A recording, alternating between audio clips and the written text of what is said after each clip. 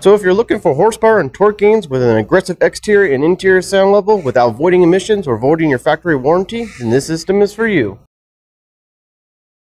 Be sure to subscribe to our Flowmaster YouTube channel and don't forget to follow us on Facebook, Instagram, and Twitter.